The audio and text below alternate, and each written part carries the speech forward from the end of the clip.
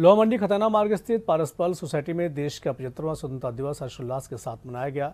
इस कार्यक्रम में राष्ट्रीय स्वयंसेवक संघ प्रांत प्रचारक हरीश रोतेला ने राष्ट्र ध्वज तिरंगा फहराया। कार्यक्रम में शहर भर से प्रबुद्ध जन मौजूद रहे।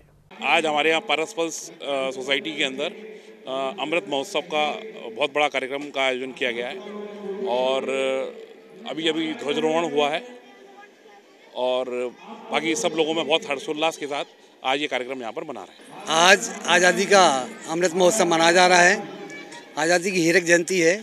उसके उपलक्ष्य में यहाँ पारसपल निवासियों की ओर से बहुत सुंदर स्वतंत्रता दिवस का आयोजन रखा गया है और इसमें सभी लोग बढ़ चढ़ कर लाभ ले रहे हैं। समिति का बहुत बहुत धन्यवाद प्रस्तुत करता हूँ। सबसे मुख्य बात यह है कि इस कार्यक्रम को इस देश ने बहुत बड़े स्तर पर लिया है। प्रधानमंत्री ने केवल आह्वान किया था कि हर घर तिरंगा का एक हम लोग अभियान पूरे देश में चलाएँगे, लेकिन आम जनमानस ने जो तरीके से इसको बिल्कुल लिया है, और ये अपने में एक तारीफ़ काबिल बात है।